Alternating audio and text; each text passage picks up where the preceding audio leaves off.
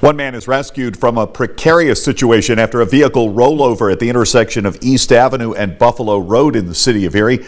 The driver of a tractor trailer apparently lost control, the vehicle landing on its side after hitting multiple utility poles, causing the truck to become entangled in live power wires. Penelec officials were quickly called to the scene to shut down electricity uh, temporarily to allow first responders to rescue that trapped driver by cutting open the windshield of the vehicle. That driver fortunately suffered only minor injuries. Power is expected to be restored shortly.